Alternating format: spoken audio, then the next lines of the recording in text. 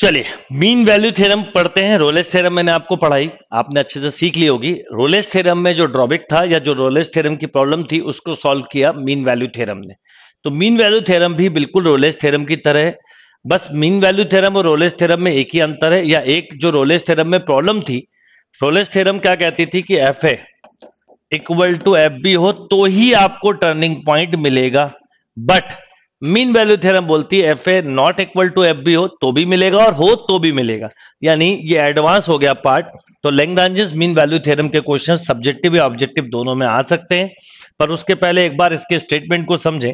Statement बिल्कुल वैसे ही जिस तरह का रोलेस थ्योरम का था, कि let f x be a function defined in closed interval a b such that number one it is continuous on closed interval a b यानी जो फ़ंक्शन दिया है, वो कंटिन्यूस होना चाहिए।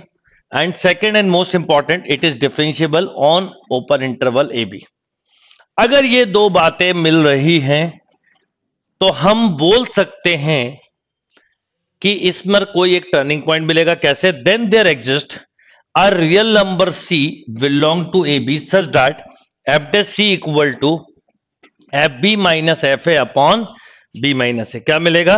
F dash c equal to f b minus f a upon b minus of a अब देखो, यहाँ पर अगर एफ़ ए एफ़ बी के इक्वल हो गया, मान लो तो इक्वल हो गया तो ज़ीरो हो जाएगा। यानी ये रोलेस थ्योरम को भी वेरीफाई करती है। और अगर एफ़ ए एफ़ बी के इक्वल नहीं है तो भी हम बोल सकते हैं कि ग्राफ में या कहीं पे एक टर्निंग पॉइंट मिल सकता है। राइट और ये जो सी है c belong to a b होगा। बस ये ही चीज़ देखनी है। क्वेश्चन किस ढंग के आते हैं, कैसे करने हैं, वो बताता हूँ। बस आप जब भी क्वेश्चन करें तो ये दो बातें ध्यान रखते हुए करें, जैसे रोलेस थ्योरम में हमने किया हुआ है। देखते हैं जरा क्वेश्चन। चलिए, थ्योरम के बाद आप कुछ क्वेश्चन करते हैं मीन वैल्यू थ्योरम पे, जिससे कि आपको समझ में आए कि इस तरह के क्वेश्चन मतलब मीन वैल्यू थ्योरम से क्वेश्चन कैसे करते हैं। जैसे रोलेस थ्योरम में सीखे, बिल्कुल वैसे ही सीखे। Verify Lagrange's mean value theorem for the function यानी आपको ये थ्योरम को वेरीफाई करना है। सब्जेक्टिव में आए तो स्टेप वाइज लिखिएगा। ऑब्जेक्टिव में आए तो डायरेक्टली आपको पॉइंट निकालना है थ्री से फाइव के बीच में क्या पॉइंट होगा। बड़ा सिंपल सा टाइप है। देखिए, सबसे पहले अगर हम समझें तो ये पोलोनोमियल इक्वेशन है। पोलोनोमियल इक्वेशन जो है वो एवरीवेयर कंटिन्यूस होती है। यानी कंटिन्यूटी की प्रॉब्लम खत्म। पोलोनोमियल इक्वेशन है तो डिफरेंशिएबल भी होती है। यानी डिफरेंशियबिलिटी की प्रॉब्लम भी खत्म। तो अब बात आती है कि इसमें हम बिल्कुल श्योरली बोल सकते हैं कि एक पॉइंट ऐसा ज़रूर होगा जो थ्री से फाइव के बीच में लाया कर रहा होगा। अब मैं अगर एफ़ थ्री की वैल्यू निकालूं तो थ्री माइनस थ्री ज़ीरो और अगर मैं एफ़ फाइव की निकालूं तो माइनस टू फाइव की निकालूं तो plus two minus one minus four यानी एट अब देखिए यहाँ पर एफ़ थ्री एफ़ फाइव के इक्वल नहीं है। फिर भी ये थ्योरम बोलती है कि हमें क्रिटिकल पॉइंट मिलेगा टर्निंग पॉइंट मिलेगा, जहाँ पर मैक्स मिनिमा होगा। At least one point between three and five अब क्या करो, इसको पहले मल्टीप्लाई कर लो। जिससे डिफ्रेंशिएशन का फॉर्मूला इजी हो जाए तो X minus three into X square minus fifteen X plus fifty four इसको भी कर लीजिए।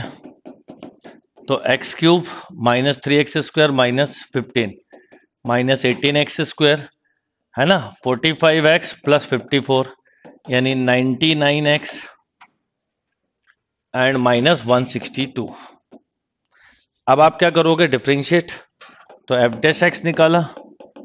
Three x square minus thirty six x plus ninety nine यहाँ आने के बाद रोलेस थ्योरम में क्योंकि एफ़ इक्वल टू एफ़ भी होता था, यहाँ पर नहीं है तो हमें ये फॉर्मूले को यूज़ करना है. F B minus F A upon B minus A अब क्या होगा? F dash C equal to जब लिखेंगे आप तो बस यहाँ पर एक्स के प्लेस पे सी लिख दीजिए और ऑब्जेक्टिव एग्ज़ाम कर रहे हैं तो एक्स भी रहने देंगे तो चलेगा। तो देखिए क्या हो जाएगा? Three c square minus thirty six c plus ninety nine equal to f b यानी आप एफ़ बी की वैल्यू आपने निकाली थी eight minus zero upon five minus three ये टू हो गया। तो three c square minus thirty six c plus ninety five equal to zero. अब फैक्टर नहीं बन रहा तो फॉर्मूले से कर लीजिए। तो thirty six plus minus b square यानी one two nine six minus of four into three into ninety five, यानी नाइन्टी फाइव इंटू ट्वेल्व बोल सकते हो। Twelve five sixty, zero, one zero eight, यानी वन वन फोर। तो हो गया minus one one four zero by two into three okay अब ये रिज़ल्ट कितना मिलेगा? X equal to thirty six plus minus ये वन टू नाइन सिक्स है, ये वन वन फोर ज़ीरो है है ना? तो ये मिल जाएगा आपको, आप इसको माइनस कर लो। वन वन फोर ज़ीरो जब आप ये माइनस करेंगे तो वन फिफ्टी सिक्स आ गया ये। Upon six. अब देखिए, एक बार ले लेंगे पॉजिटिव साइन, एक बार निगेटिव। तो six plus minus root one fifty six by six, ऐसा ही लिखते। अब थोड़े लॉजिक से देखिए, अगर आप माइनस लेंगे तो क्या होगा और प्लस लेंगे तो क्या होगा? क्योंकि प्लस लेंगे तो तो बड़ा हो जाएगा फाइव से। तो छोड़ दीजिए, माइनस ले लीजिए। अच्छा रूट 144 होता है 12 और रूट 169 होता है 13 इसका मतलब ये 12 पॉइंट समथिंग मिलेगा. थोड़ी देर के लिए 12 भी मान लो. तो 12 बाय सिक्स यानी टू तो सिक्स में से कम हो गया तो ये बिलोंग कर रहा है किसमें थ्री से फाइव में. यानी मीन वैल्यू थ्योरम एप्लीकेबल है और ये आपको उसकी वैल्यू मिल गई. राइट नोट कर लीजिए क्वेश्चन को. देखिए, एक और क्वेश्चन देखते हैं मीन वैल्यू थ्योरम का क्या है? Verify Lagrange's mean value theorem for the following function on the indicate interval also find c indicate interval मतलब क्रिटिकल पॉइंट निकालना है। क्या क्वेश्चन है? देखिए, अगर हम फ़र्स्ट क्वेश्चन को देखें तो फ़र्स्ट क्वेश्चन है, x into x minus two is means x square minus two x polynomial function continuous होता है पॉलोनोमियल फ़ंक्शन डिफरेंशिएबल होता है। इसका मतलब हमारी ये वाली बात खत्म। और हमें इसकी टेंशन भी नहीं लेनी। अब अगर मैं एफ़ वन बोलूँ, आपसे कितना होगा? तो आप बोलते माइनस वन और अगर मैं बोलूँ एफ़ थ्री कितना होता तो आप बोलते थ्री डिफ्रेंशिएशन किया तो एफ़ डैश एक्स मिला। टू एक्स माइनस टू फॉर्मूले में पुट कर देना है बस। यानी यहाँ पर मीन वैल्यू थ्योरम एप्लीकेबल है। और according to theorem two b minus sorry two c minus two equal to f b three minus minus one plus upon three minus one तो ये हो गया बेटा two c minus two equal to two यानी two c equal to four यानी c equal to two two किसके बीच में बिलोंग कर रहा है? वन और थ्री के बीच में। इसका मतलब रोलेस थ्योरम एप्लीकेबल है, और जो सी पॉइंट है, वो हमें मिल गया टू इज़ दैट क्लियर बिल्कुल सिमिलरली ये क्वेश्चन भी उसी तरीके से आपको सॉल्व करना है। कैसे करेंगे? देखते हैं जरा। देखिए क्या क्वेश्चन दिया है।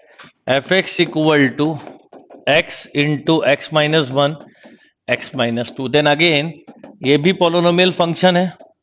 पोलोनोमियल फ़ंक्शन कंटिन्यूस भी होता है और डिफरेंशिएबल भी होता है। तो पहली दो कंडीशन वेरीफाई अब आपने ये लिखा।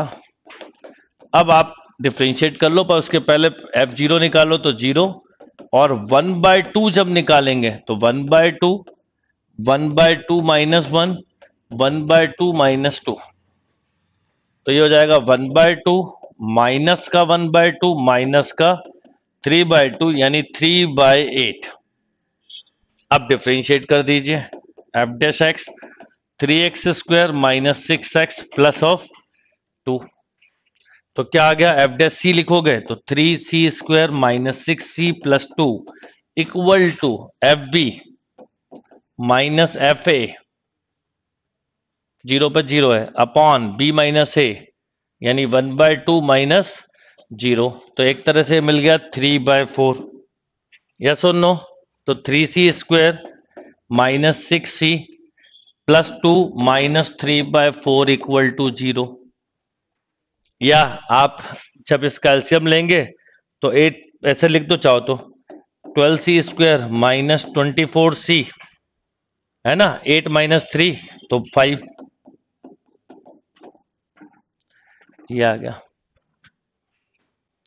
तो देखिए, फैक्टर आपको दिख रहा है, बनेंगे नहीं तो क्या करोगे? कोई बात नहीं। फॉर्मूला मेथड से कर दीजिए। तो according to formula method twelve c square minus twenty four c plus five equal to zero तो c equal to twenty four plus minus 576 okay ये हो गया 12 into five into four twenty तो ये हो जाएगा 240 बाय टू इंटू ट्वेल्व यानी 24 plus minus ये हो गया 236 बाय 24 यानी one plus minus root two thirty six by twenty four अब देखो रूट टू ट्वेंटी फाइव होता तो मिलता फिफ्टीन है ना? या रूट टू फिफ्टी सिक्स होता तो मिलता सिक्सटीन यानी फिफ्टीन से थोड़ा ज़्यादा और सिक्सटीन से कम। तो अगर अभी थोड़ी देर के लिए मैं इसको सिक्सटीन भी मान लूँ तो प्लस वाला काम नहीं करेगा। One plus root two thirty six by twenty four ये not belong to a zero one by two but one minus root two thirty six by twenty four ये बिलोंग कर रहा है किसमें? ज़ीरो से वन बाय टू में। तो Rolle's theorem applicable है और ये इसकी सी की वैल्यू आ गई। राइट चलिए नेक्स्ट कुछ क्वेश्चन देखते हैं जो टिग्नोमेट्री लॉग और जनरल क्वेश्चंस हैं, जिससे कि आपको थ्योरम पे और कमांड आ जाएगा। और इतने क्वेश्चंस काफ़ी हैं सफिशिएंट है। अगर आपने कर लिए तो आपको कुछ और करने की ज़रूरत नहीं है। जैसे अगर हम देखें तो क्वेश्चन इसका फ़र्स्ट है X minus two sine X and minus pi to plus pi सबसे पहले पोनोमियल विथ एल्जेब्रिक है कंटिन्यूस भी है डिफरेंशियबल भी है। तो दोनों कंडीशन वेरीफाई हो रही है। एफ़ माइनस पाई निकालेंगे तो माइनस पाई मिलेगा क्योंकि ज़ीरो हो जाएगा और एफ़ प्लस पाई निकालेंगे तो पाई मिलेगा। ये आपको रिज़ल्ट मिल गया। डिफ्रेंशिएट करिए। तो एफ़ डैश एक्स क्या मिल गया? One minus two cos x वही सेम फॉर्मूले पे वैल्यू रख दीजिए। F v minus f a upon b minus a तो क्या आ जाएगा? One minus two cos x ही लिखा रहने चलेगा, कोई दिक्कत नहीं है। यहाँ कितना? Pi minus minus plus pi upon pi minus minus plus pi. तो ये वन हो जाएगा। तो one minus two cos x equal to one, यानी cos x equal to zero तो x equal to pi by two this is belong to minus pi two pi even दो value मिल सकती है, एक पाई बाई टू और एक minus pi by to ये दोनों ही इसके क्रिटिकल पॉइंट कहलाएँगे या टर्निंग पॉइंट कहलाएँगे राइट नोट कर लीजिए।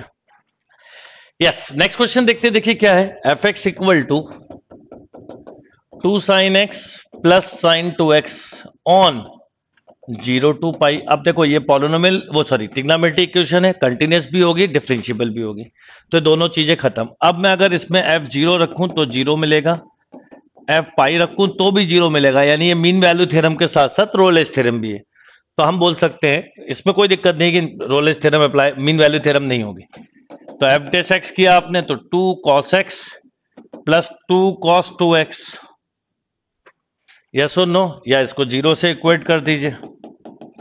तो आप ज़ीरो से मतलब एक्चुअल में दोनों ज़ीरो है तो ज़ीरो से ही इक्वेट होगा तो two cos x plus two cos two x equal to zero या ऐसा बोल सकते हो cos two x equal to minus cos x या cos two x equal to cos pi minus x तो two x equal to pi minus x तो x equal to pi by three this is belong to zero to pi तो mean value theorem as well as Rolle's theorem दोनों ही इसमें apply हो रही है। Note करें। देखिए, एक और क्वेश्चन क्या है? F x equal to log x अब लॉग एक्स है तो ये ज़ीरो के बाद डिफाइंड होता है और ज़ीरो के बाद कंटिन्यूस डिफरेंशियबल दोनों है। तो पहली दोनों कंडीशन वेरीफाई डिफ्रेंशिएट करिए। तो वन बाय एक्स तो यानी एफ़ डेस सी मिल गया वन बाय सी अब आपने एफ़ वन निकाला तो ज़ीरो एफ़ टू निकाला तो लॉग टू यस और नो अब आप ये वैल्यू रख दीजिए तो one by C equal to F B minus F A upon B minus A तो एक तरह से one by C equal to log two या C equal to C equal to दोनों चीज़ें लिख सकते हैं। C equal to one by log two one by log two okay ये सी की वैल्यू आ गई। और ये बिलोंग टू क्या हो जाएगा? वन टू टू नोट कर लीजिए। चलिए नेक्स्ट क्वेश्चन देखते हैं, देखिए क्या है। कुछ इस तरह का क्वेश्चन है।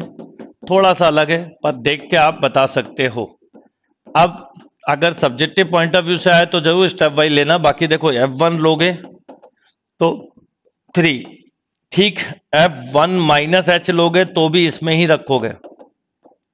और एफ़ वन प्लस एच जब लोगे आप तो इसमें रखोगे।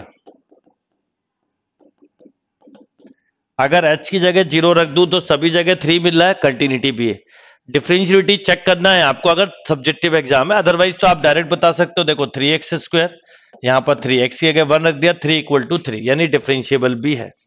तो अब आप यहाँ पर ऐसा बोल सकते हो, आप यहाँ पर ऐसा बोल सकते हो कि f dash c equal to f b minus f a upon b minus a. तो इसका डिफ्रेंशिएशन कर दो। तो three x square equal to f b. अब ये माइनस वन से टू में बताना है तो माइनस वन यहाँ रखा जाएगा। तो ये मिलेगा वन। और टू रखिए, टू नीचे में रखोगे तो six minus six minus one upon two plus one. तो three x square equal to एक तरह से फाइव बाय थ्री या x square equal to five by nine तो x equal to plus minus five by वो root five by three तो अब minus one से टू में बताना है तो x इक्वल टू ले लीजिए रूट फाइव बाय थ्री और एक ले लीजिए x equal to minus root five by three right अब माइनस वन से टू के बीच में दोनों ही लाए कर जाएँगे। माइनस वन से टू के बीच में ये दोनों ही लाए कर जाएँगे। ओके?